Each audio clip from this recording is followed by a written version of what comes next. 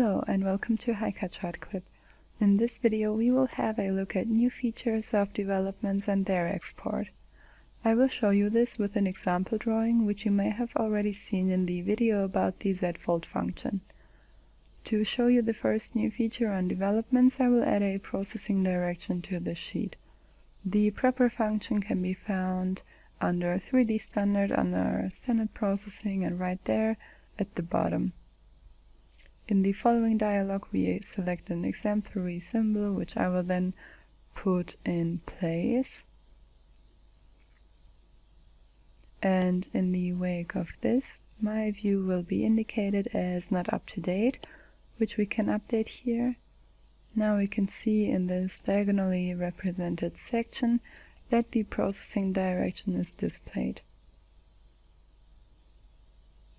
The next step here will be to create a new development and let's say we would like it to be inserted over here at the top.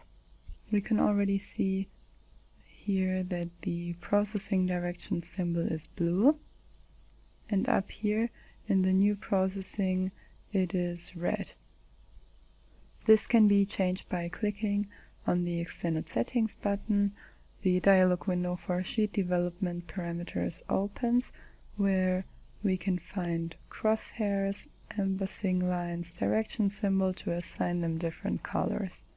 What's new is that I can specify, let's say that for this one client in particular in this drawing, these direction symbols need to be in red per default by unticking the checkbox, Correspondingly, the setting is taken over and we see that the direction symbol is blue as of now. The same applies to crosshairs. If the respective checkbox has been activated, the parameter set here will be considered for development.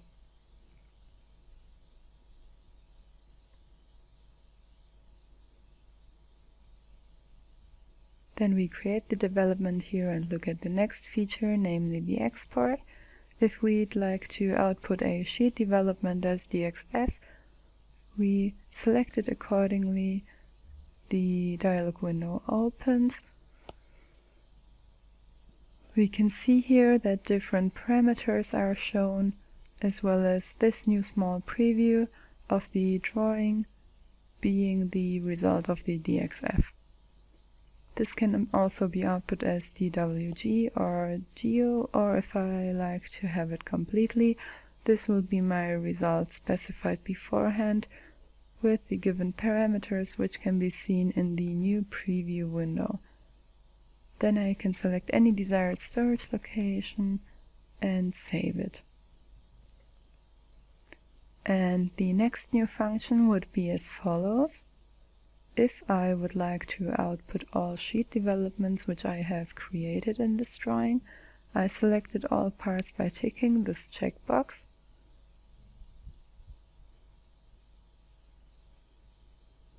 A list appears with all developments existent here, and if I have multiple sheet areas, I eventually cannot see whether they are up to date. In this second sheet here it is visible that these sheets aren't up to date. This means that these will be still created and output if I export this. However, I will see a respective note that they are not up to date. And the last feature I would like to show concerns the step export of developments here is an additional option that fits information, can be output via the surface colors in STEP. Okay, that's it for this video. Thank you for watching it. Bye.